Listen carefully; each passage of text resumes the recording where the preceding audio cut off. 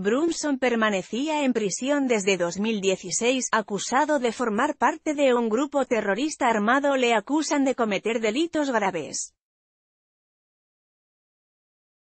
El pastor evangélico estadounidense Andrew Brunson fue encarcelado en octubre de 2016 durante la ola de detenciones que realizó el gobierno de Turquía tras el fracasado intento de golpe de Estado de julio de ese año contra el presidente Recep Tayyip Erdogan. Inicialmente, Brunson fue acusado de formar parte de un grupo terrorista armado. En 2017, fue imputado con cargos por espionaje e intento de derrocar al gobierno. Pero su caso volvió a cobrar relevancia este jueves cuando el presidente estadounidense, Donald Trump, amenazó al gobierno de Ankara con enormes sanciones si no libera al clérigo de inmediato. Trump aseguró en Twitter que Brunson es un gran cristiano, hombre de familia y maravilloso ser humano, quien está sufriendo mucho. Este hombre de fe es inocente y debe ser liberado inmediatamente, agregó. Sus advertencias llegan un día después de que el pastor saliera de prisión, tras más de año y medio en la cárcel, para cumplir arresto domiciliario. La agencia noticiosa oficial turca Anadolu publicó que la medida se debe a problemas de salud de Brunson. Brunson es inocente, no existe evidencia creíble contra él, dijo esta semana el vicepresidente estadounidense Mike Pence. Getty Images El pastor fue trasladado a su casa este miércoles para cumplir arresto domiciliario. Pero Brunson, quien hasta el momento ha negado todos los cargos, podría ser condenado a hasta 15 años de cárcel si los tribunales turcos lo condenan por cometer crímenes a nombre de grupos terroristas sin ser miembro, y a otros 20 años si lo hayan culpable de espionaje. El canal CNN Turk informó que, tras las advertencias de Trump, el ministro de Exteriores turco, Mevlut Cavusoglu, y su homólogo de Estados Unidos, Mike Pompeo, hablaron por teléfono. Sin embargo, nada trascendió del contenido de esta conversación en el marco de un caso que continúa tensando las relaciones entre Estados Unidos y Turquía, uno de sus aliados en la OTAN. Un caso prioritario Brunson es un pastor de la Iglesia Evangélica Presbiteriana de 50 años de edad y originario de Carolina del Norte. Durante 24 años ha vivido en Izmir, la tercera ciudad más grande del país, ubicada en la costa occidental de Turquía. Casado y con tres hijos, Brunson estaba a cargo de una iglesia con una pequeña congregación de alrededor de 25 personas. Su caso es de interés prioritario por parte del gobierno de Estados Unidos que ha realizado diversas gestiones en las que han participado el presidente Donald Trump, el vicepresidente Mike Pence y el exsecretario de Estado Rex Tillerson.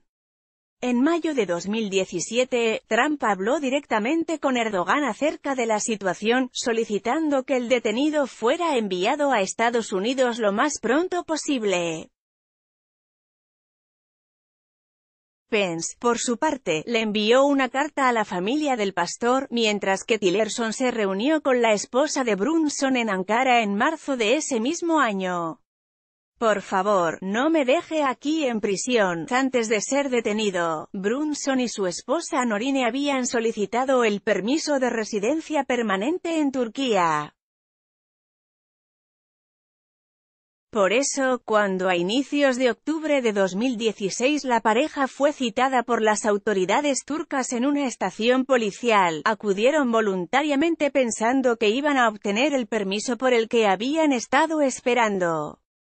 En lugar de ello, ambos fueron detenidos y acusados de realizar actividades contra la seguridad nacional. Unos días más tarde, Norine fue liberada pero su marido aún permanece arrestado. Cuando en marzo de 2017 el exsecretario de Estado estadounidense, Rex Tillerson, viajó a Turquía para reunirse con altos funcionarios turcos, incluyendo al propio Erdogan, Brunson aprovechó una visita de funcionarios de la Embajada de EU para divulgar a través de estos una petición de ayuda. Getty Images Brunson en 2017, le ruego a mi gobierno que luche por mí. Le pido al Departamento de Estado que imponga sanciones. ¿Seguirá el gobierno turco neciamente manteniendo a un ciudadano estadounidense como preso político sin sufrir consecuencias, incluso aunque tengo un historial público comprobado como pastor de la iglesia ellos me acusan de ser miembro de un grupo terrorista islamista, señalaba en el texto. Brunson denunciaba que durante su cautiverio el gobierno de Turquía no había conseguido pruebas en su contra y había rechazado numerosas solicitudes del gobierno estadounidense para permitir su repatriación. Le ruego a mi gobierno que luche por mí. Le pido al Departamento de Estado que imponga sanciones. Llamo al presidente Trump, por favor, ayúdeme. Haga saber al gobierno turco que no cooperará con ellos de ninguna manera hasta que me liberen. Por favor, no me deje aquí en prisión, señalaba. Opciones de canje En 2017 Erdogan sugirió a Estados Unidos la posibilidad de usar al pastor como moneda de cambio por la detención y extradición de Fethullah Gulen, un clérigo musulmán autoexiliado en Pensilvania desde hace más de 15 años a quien el gobierno turco acusa de ser el cerebro detrás del fallido golpe de Estado en Turquía.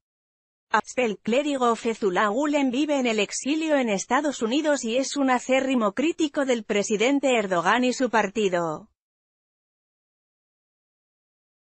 Gulen, un ex aliado del mandatario turco devenido en adversario, ha negado reiteradamente cualquier tipo de implicación en el intento de derrocamiento. La portavoz del Departamento de Estado, Heather Nauert, indicó el año pasado que las autoridades estadounidenses estaban estudiando la documentación enviada por Turquía para justificar la solicitud de extradición del preso y que siguen esperando la liberación del religioso estadounidense. Pero Nawert no se mostró demasiado optimista con la petición de Ankara, no puedo imaginar que vayamos a recorrer ese camino, apuntó. Según fuentes de la Casa Blanca, los abogados de Brunson han denunciado la total falta de pruebas en su contra.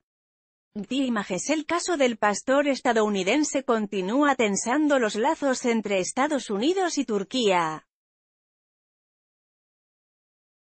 El Centro Estadounidense por la Ley y la Justicia, ACLJ, por sus siglas en inglés, una organización que ha llevado el caso de Brunson hasta el Consejo de Derechos Humanos de la ONU y que ha asumido incluso su defensa ante las autoridades turcas, considera que se trata de un caso de persecución religiosa.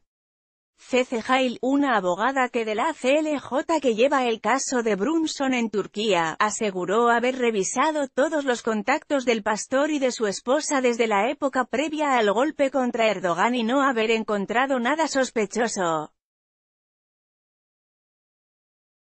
Hemos revisado todo y simplemente no hay nada aquí, dijo en 2017 a USA Today, y agregó que temía que Brunson fuera a ser mantenido como un rehén por el gobierno de Turquía para forzar la detención y extradición de Gulen.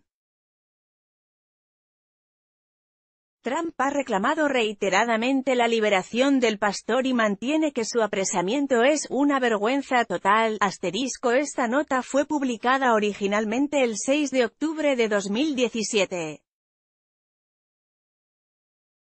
Ahora la actualizamos a raíz de las nuevas declaraciones del presidente estadounidense Donald Trump sobre el caso de Andrew Brunson, donde amenaza a Turquía con sanciones si no lo libera de inmediato. Ahora puedes recibir notificaciones de BBC News Mundo, descarga la nueva versión de nuestra app y actívalas para no perderte nuestro mejor contenido.